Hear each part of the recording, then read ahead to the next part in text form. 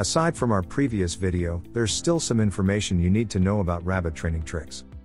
If you happen to own a rabbit, you probably know that they are much smarter than people think. They are capable of learning quite a few things and can learn to recognize both verbal and hand cues. Rabbit owners know their bunnies recognize not only their voice but the sound of the food bin being opened.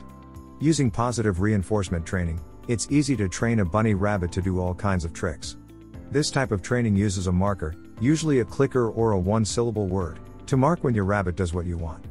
Then, that marker is followed by a reward, usually food but really anything your rabbit likes. Sit. Rabbits can learn sit just like your dog can.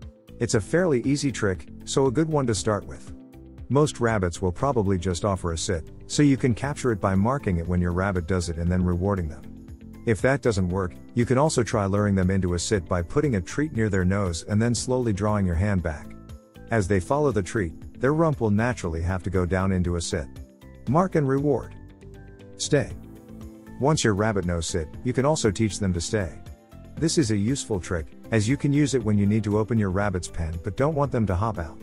If you have trained a dog to stay using positive reinforcement, you can use the same techniques here. Ask your rabbit to sit, and then, instead of marking right away, delay your mark for a second or two, then mark and reward. The key here is to build up duration slowly. If they break their stay, it's okay. Just get them back to where they were and start over, marking at a shorter interval this time. Sit pretty. There is nothing cuter than a rabbit sitting up or sitting pretty. It's actually a natural position for them and one they do when they hear or see something that catches their attention. It's a great trick to teach for photo ops or just for fun. Like sit, you can wait until your rabbit offers this fun trick and then mark and reward. This time, put the treat near your rabbit's nose and slowly lift your hand up and back just a bit so they sit on their rump, otherwise, they will be standing on their legs, which is not a stable position for them. Mark as soon as the rump is down and the front legs are up. Mat. The mat trick teaches your rabbit to go to a blanket or grass mat and stay there until released. It's a bit more of a complicated trick but can be useful if you need your rabbit to get into a safe area quickly or to stay out of the way while you are cleaning their area. To start mat training, you are going to shape, mark and reward in small steps any movement your rabbit takes to his mat. It should be the same mat every time, to begin with, and the mat should be fairly close, just a few steps. Each time, up the criteria. So, if the first time your rabbit takes two steps toward the mat, see if the second time you can get two steps. Then, see if you can delay your mark until your rabbit has put a foot on the mat. When you reward for this behavior, toss the treat a bit away from the mat so your bunny comes of it, and you can reset for the next step. Continuing shaping until your rabbit is going right on the mat with all four feet. Then, you can start adding in a stay with the tips from previous tricks. Pedestal. The pedestal is a fun trick that many rabbits like because it puts them up high a bit.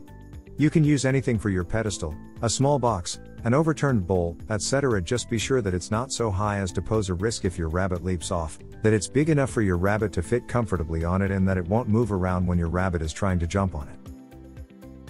Bunny High Five. Even more adorable than the rollover is teaching your bunny to high five, with one paw, or high 10 with both paws.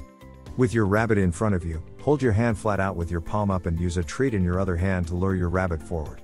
When your rabbit has walked forward so that his paw is now on your hand, reward him with a treat and click.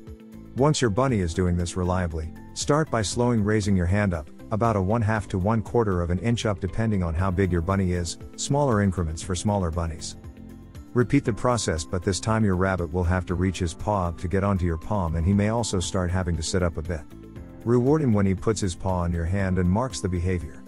Once he is doing this reliably, you will want to turn your hand so that your fingers are pointing up and your palm is facing your rabbit like the traditional high five stances. You may have to do this change in slow increments, so you may start with flipping your hand over so it's still flat but with palm down and get your rabbit to touch it in this stance, then slowly angle your hand so your fingers are pointing diagonally up, and so on until you are finally in the correct position. Remember, take your time and be patient. Put your palm right in front of your rabbit's face and lure him to it with a treat. Reward and mark the behavior when your rabbit touches his paw to your hand like a high five. Repeat the entire process with your other hand and your rabbit's other paw. Once he is doing a high five with either paw, you can hold up both hands to encourage him to give you a double high five. You can also try alternating and doing a left paw high five, then right paw high five and go back and forth. Bunny agility. For a really fun trick that's also terrific exercise, try teaching your bunny some rabbit agility. Just like a dog agility course, bunnies can learn how to jump over and go through obstacles. In fact, there are even competitions internationally for rabbits to do agility courses and rabbit hopping. If you want to make some small jumps for your bunny, you can do it with some PVC following dog agility equipment plans. You can also buy small size agility equipment made specifically for smaller animals. You can also just use simple around the house items to make jumps or even your arm or leg. Once your bunny learns to jump on command, your obstacles can vary. You can teach him to jump by luring him with a treat over the obstacle, but another easy way to do this is to use a target stick. You can purchase a target stick at any pet store or just make your own using a dowel, wooden ruler, or any similar thin, long item. Hold the tip of the target stick out in front of your bunny and use a treat to lure his nose to touch the end of it. Mark and treat him when he does. Repeat this process and eventually remove the lure and just hold the stick out. Mark and reward when your bunny touches the tip with his nose on his own. You can also add in a word if you like, such as touch. Now start to move the stick around a few inches and see if your bunny follows it. Mark and reward when he does and touches the tip with his nose. If he doesn't, or he seems confused, it just means you're going too fast, so move it in much smaller increments. Once you can work up to your bunny reliably following the stick, you can then use it to target train him to jump. Lay on the floor with your legs out in front of you. With your bunny on one side of your legs, Hold the target stick out and move it from just in front of your bunny's face to cover your legs. Reward and mark when he jumps over your legs to touch the target stick. You can add in a word like jump or over. At this point, repeat this process and then slowly move one leg up about one quarter to half inch up and repeat. You can eventually work up to doing this with your leg higher in the air. Try also switching it out to have your bunny jump over one foot while you're standing, or over an outstretched arm, or make a physical jump. You can also use the target stick to train in to go through obstacles, such as a small cat tunnel.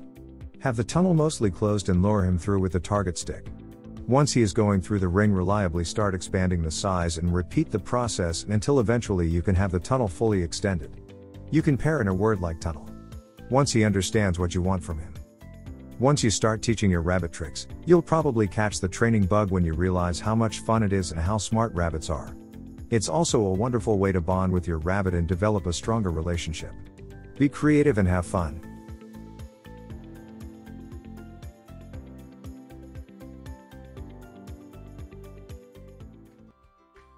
If you enjoyed this video, kindly press the like button.